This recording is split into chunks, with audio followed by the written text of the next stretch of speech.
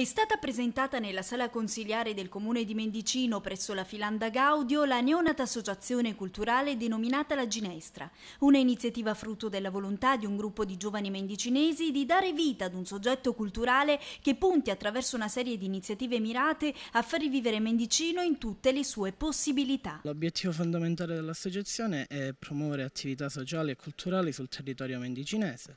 È chiaro che servirà la mano di tutti, anche perché da soli non siamo capaci di, fare, di riprendere appunto queste tradizioni.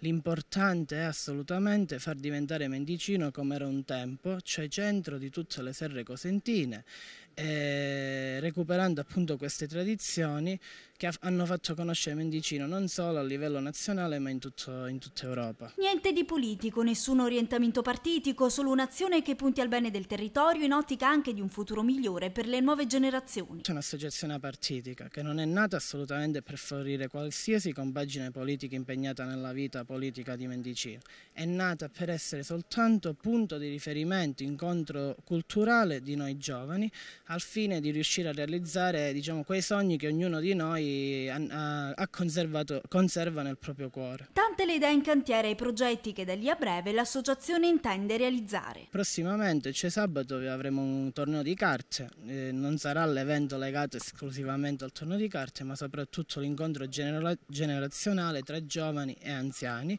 in piazza perché la piazza deve essere punto di aggregazione fondamentale di tutto il paese.